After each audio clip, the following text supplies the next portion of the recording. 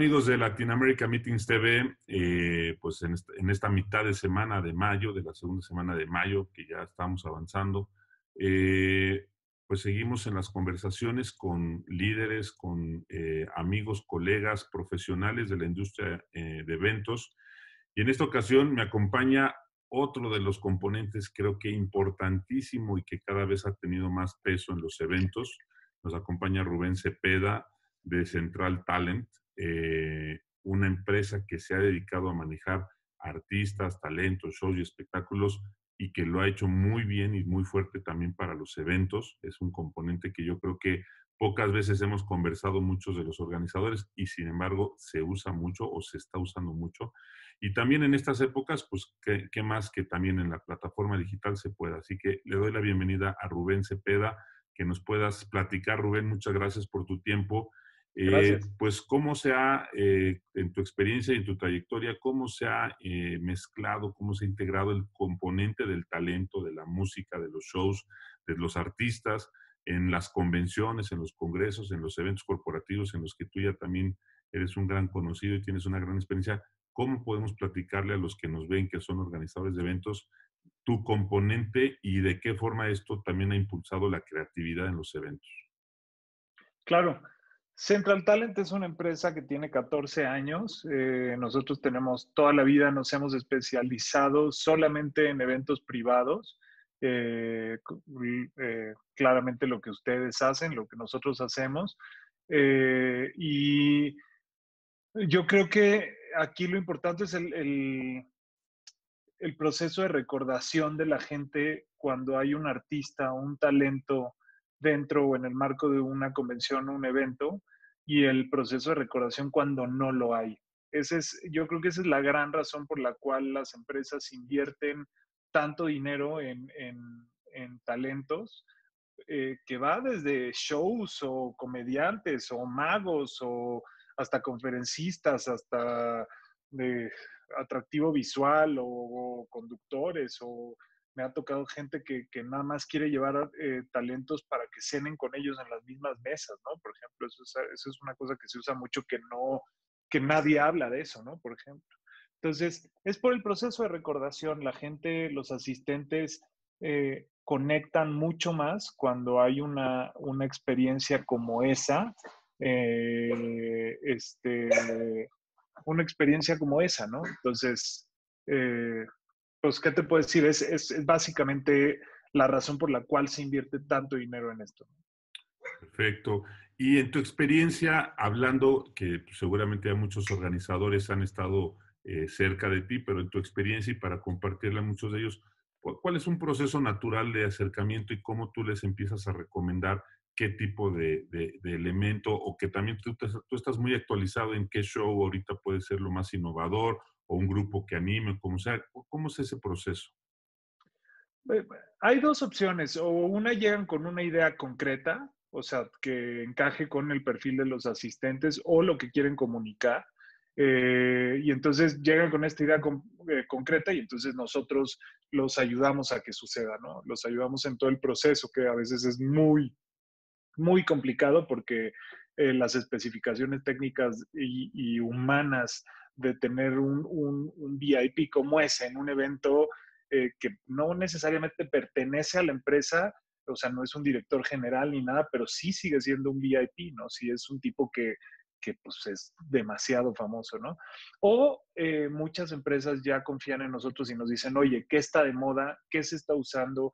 Eh, ¿qué, qué, qué, nos podría recomendar para que la gente pase un buen rato, ¿no? Entonces, depende mucho del perfil. Hay gente que nos dice, eh, queremos fiesta, perfecto. Entonces tenemos este, este tipo de artistas que te pueden ayudar. Nosotros queremos sentarnos a disfrutar, echar una copa o solamente escuchar música o solamente escuchar música instrumental. Y entonces nosotros tenemos un abanico ahí como de 1.300 talentos eh, de los cuales recurrimos para, para, para ofrecerles a las empresas y a los organizadores de eventos, que es nosotros a lo que más le vendemos, ¿no?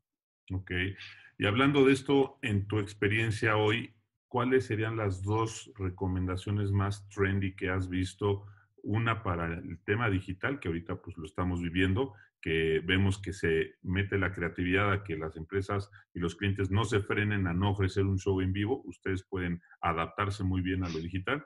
Y una tendencia, cuando regresemos a la vida activa de los eventos en vivo, ¿cuál crees que hoy también ha sido una tendencia en grupo o en, componente para los eventos en vivo?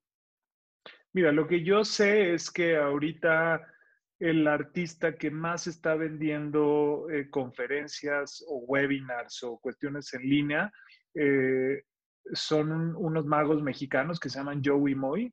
Ellos dos, justo ahorita en la pandemia, sacaron una conferencia que es motivacional y, lo que sé es que llevan, o sea, una cantidad brutal de, conferencias vendidas, cosa que muchos otros artistas no han querido aprovechar o no, no pueden aprovechar, ¿no?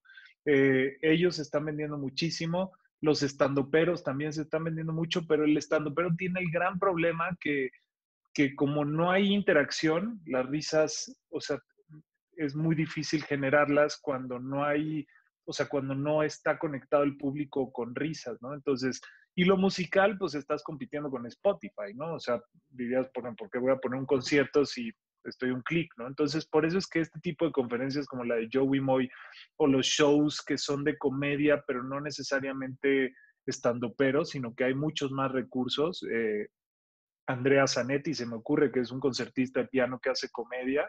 Cuando tienes todos estos recursos, eh, es mucho más fácil hacer, un, hacer un, una, transmisión en vivo vía internet. Y para después, eh, ahorita lo que más está de moda son los grupos de covers.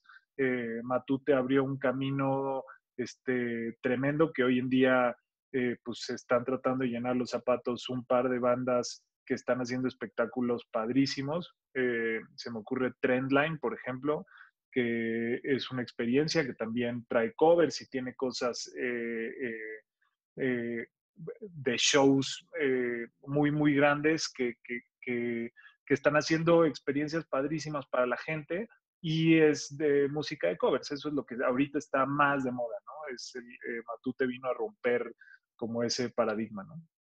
Perfecto, ¿no? Pues dos grandes, dos grandes propuestas, dos grandes ideas que nos, nos presentas. Y pues ya como por último, para que nos compartas, eh, pues en tu experiencia, yo creo que eh, hablando con algunos organizadores, a veces la percepción es que traer talento, traer VIPs a lo mejor puede ser muy caro o, no pero creo que tú tienes más bien como ese termómetro, ¿no? Digo que seguramente hay para todos los presupuestos, pero es, es más fácil o es mejor sí acercarse con ustedes, de, desarrollarles la idea, o, cómo crees tú que alguien pueda romper, ese paradigma para que a sus clientes, a sus empresas que los contratan, les lleguen a ofrecer más tus servicios de talento artístico. Mira, es muy fácil, es, es en, en muchos de los casos no es caro, es costoso, es distinto. O sea, lo que aporta un artista o una experiencia o un show a una conferencia eh, o a una convención, eh, pues es, es muchísimo, ¿no? Es, es, como te digo, es el proceso de recordación, hace que todo sea mucho, mucho más fácil. Entonces, no es que sea caro, es costoso, y lo que hacemos nosotros en Central Talent es tratar de hacer que el proceso sea lo más simple posible. ¿A qué se refiere? ¿Qué me refiero con esto? Es tú me dices qué talento quieres o qué perfil quieres y nosotros nos encargamos de que todo suceda simples. O sea, que no, que no te haya nada que, que puedas decir, híjole, esto fue una pesadez o es una complicación. ¿Por qué? Porque nosotros estamos acostumbrados a este tipo de, de cuestiones técnicas, de necesidades, de requerimientos, para que ustedes solo puedan eh, disfrutar de su, evento y no necesiten estar ahí o mandar gente o, eso, ¿no? Y, en realidad en nuestro servicio no, no tiene un costo adicional. A mí los artistas me pagan una comisión por, por, por vender los shows. Entonces, pues no hay, no hay, no hay razón por la cual no, no contratar una agencia como la nuestra. Perfecto. Pues Rubén, te agradezco mucho tu tiempo. Eh, yo creo que seguiremos nuestras conversaciones para hacer más cosas juntos y ahora que ya se pueda hacer también un evento en vivo, quizás también hacer un showcase para puros organizadores de eventos y que conozcan toda la plataforma que tienes, hacerles una experiencia. Pero mientras tanto, pues nos mantenemos en contacto contigo digitalmente, aprendiendo más de cómo meter talento a nuestros eventos. Muchísimas gracias por tu tiempo. No, hombre, gracias a ti y, recordar que somos un equipo todos y todos estamos aquí para que, para que la gente se entretenga y pase un buen rato y tengan experiencias que sean enriquecedoras. Entonces, eh, nosotros eso hacemos, tratar de hacer equipo con toda la gente para que, para que al final el, el que vaya a estar en el evento se la pase bomba. ¿no? Perfecto. Muchísimas gracias. Gracias a ti, Rafa.